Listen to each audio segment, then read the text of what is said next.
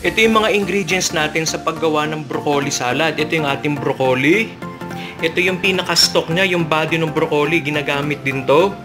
Meron tayong ham or you can use bacon if you want.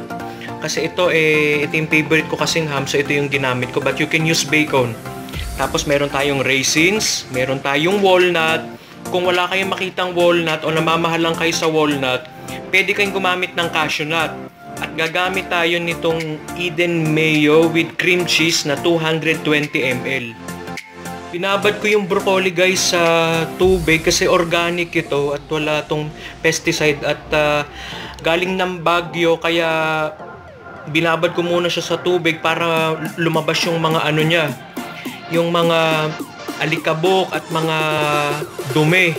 Kailangan ibabad muna ito na kahit mga 10 to 15 minutes so ito mga igan kumukulo na siya so ang gagawin lang natin dito unahin lang natin i-boil yung ating stock at uh, mga 10 minutes lang So ito yan, 10 minutes lang natin yan. So kasi gusto natin i-achieve yung medyo green pa siya at crunchy. Half cook lang natin kasi since matigas to, so mga 10 minutes natin to pakukuluan.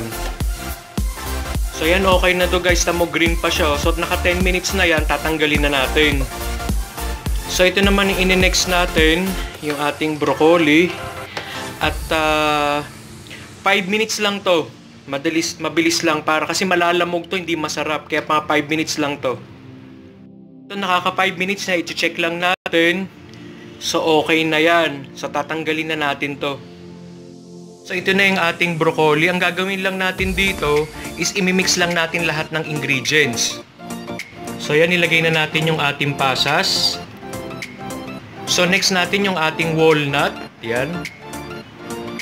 So next ilagay ko na yung aking ham. So kung gagamit kayo ng bacon, kailangan i-fry nyo muna yung bacon para mas crunchy. Pero kasi ito, ito kasi yung favorite kong ham, so ito yung ginamit ko. Pre-cook na to. So last ito yung ating mayo at hahaluin lang natin siya. So ito na yung ating finished product ng ating broccoli salad. Sana magustuhan nyo yung ating uh, recipe ngayon at uh, don't forget to subscribe and uh, thank you for watching. Bye!